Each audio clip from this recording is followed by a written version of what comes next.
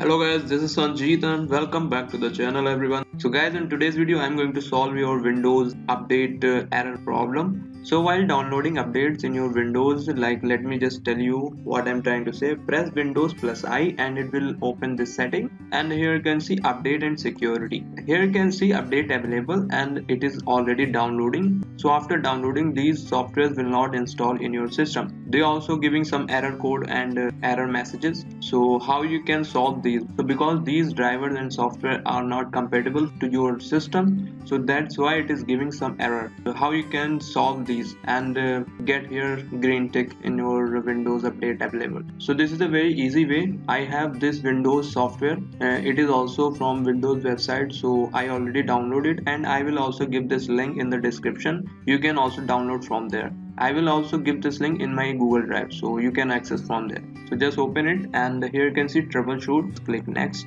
And detecting problem searching for update. You need to click on hide update. Windows will not install hidden update okay? So here you can see these are the software or drivers which is not installing in your uh, system. So just check all.